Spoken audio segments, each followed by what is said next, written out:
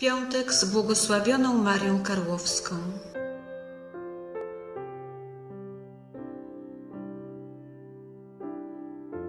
Niebo i czyściec i ziemia tyle zawdzięczać mogą Twojej pracy.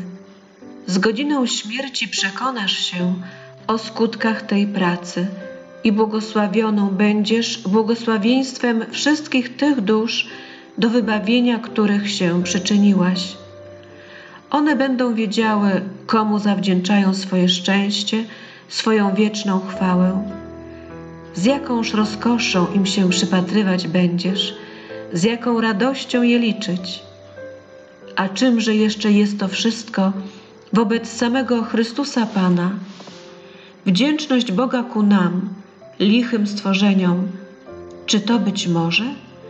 Jednak tak jest, świadczą o tym dusze świątobliwe, które już tu na ziemi usłyszały te słodkie słowa podziękowania z miodopłynnych ust Zbawiciela.